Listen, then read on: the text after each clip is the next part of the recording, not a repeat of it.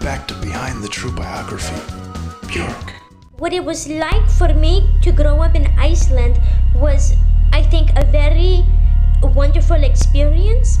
It was, it was. Um, I feel very honored and and very privileged.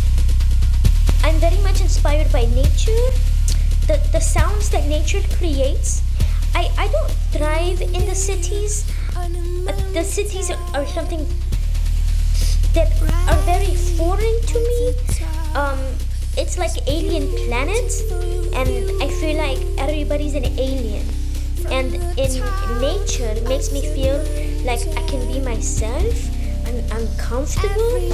I come to nature for a lot of my inspiration, and I like to mix the sounds of nature because it's very natural to me. Nature is very natural. For, for instance, this is a, a beautiful stick. I, I, I listen to the sound it makes, and I record it. It sounds very happy. I take it back to the studio, and I sample it, and maybe I use it for my next single. I record sounds. For, for, for instance, um, I, I like the birds. The birds, they're very. One thing, one thing many people from the city don't understand is the, the bird. The bird is very free. It's very free. It, it flies all the time. It, it, it can go up and it can go down, and, and it flies and it, it makes me very happy. The, the bird is it's I it's it's a real inspiration. I, I maybe use it one day. I, I maybe I won't, but they fly. They fly very much. Look at all this nature. Look at all these beats. I think to myself, Sarah, look at all these amazing beats that nature is providing for me. I mean, for, for you, but it's really for me. In every pebble, how do you say, have their own personality. Hi, Pebble. Hello. This one's the. Uh, he, he's got the, the bass sound. This one's got the bass sound. But this one is more like this. Is it more, more tiny like this? The little rock, it makes more scratching noise, more, more scratch. Nature is incredible and I'm so inspired.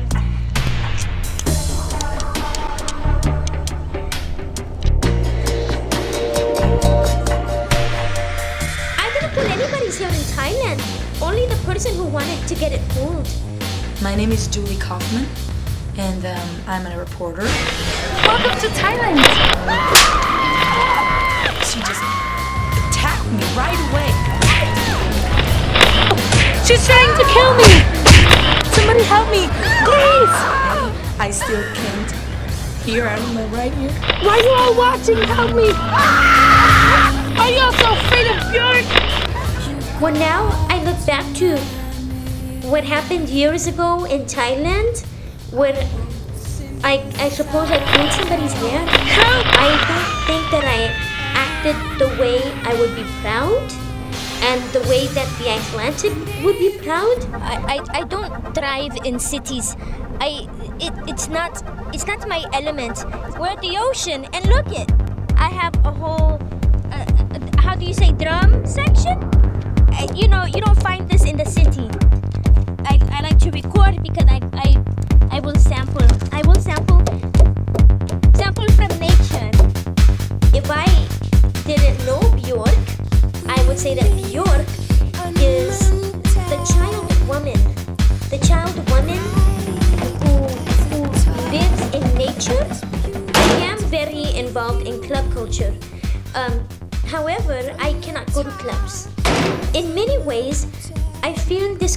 from the world because of my fame. Could you hear the ground?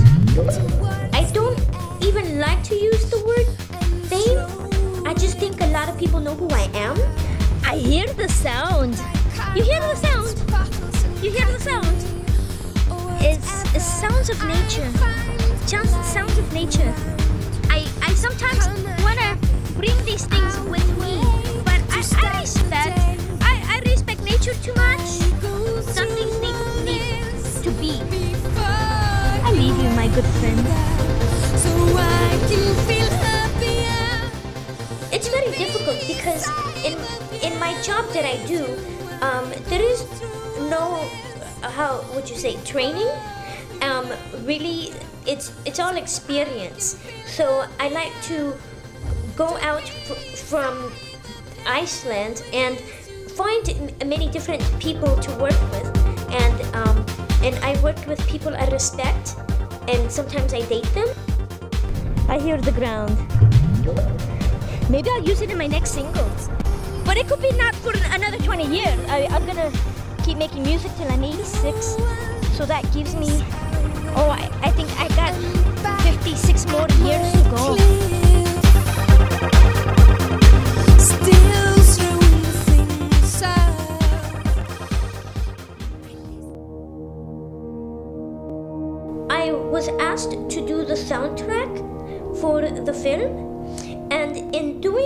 Soundtrack, I didn't want to do like those crap movies where you get a bunch of shit for soundtrack and it's just songs sometimes that are just right there for the movie. I had never actually heard of Bjork before, but um, I was very intrigued by what they told me, so um, I went with it.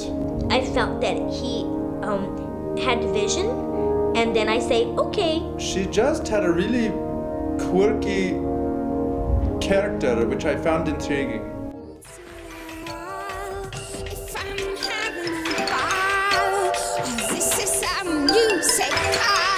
I like very, very much the musical segments in, in the film because those are the, the parts of the film that I felt most that I contribute from the heart because it is my music. It was me shooting myself with my uh, digital camera, and I'm just getting the character through that. I. I saw myself in the reflections. Then I wanted other other people to see me. Forgive your body, let it go. Bjork, it's like hearing chimes in a foggy day that are just a little too loud and the sun's just a little too bright, but it's so beautiful. I, I think that I may not have always want to do a musical, uh, for example, like Dancer in the Dark. But when I did think about it, most recently in my works in Dancer in the Dark, where I I gave a lot of myself from my heart, I think I wanted to do it. The music in the movie is astounding. It's mind-boggling, really, when you think of it. How could one person think of that music? The second part of my process is when I bring my other crew of male dancers in, and we start working out our moves together uh, in an organized fashion first, and we kind of like it's free for all. Ah, It, it is free for all to see. We work it out together. It's kind of like being a, um, a little, starfish at the bottom of the sea, just gasping for air, just want to get wants to get set free, and that's what Bjork. The message is, the music is. These dancers were just full on gusto. These guys were just boom, on their marks, on their toes, and they were dancing like out of their graves, it seems like. They've been trained for years, it's 12 years, ever since uh, Bjork was with the Sugarcubes. I've seen them, they were, they've grown up a lot since then. They were all small boys. They were a lot prettier then. Now they're a little bit, a little bit worse, worse for wear. But we're working that. We're taking, we're doing wardrobe and makeup. We're gonna, they're gonna be suited.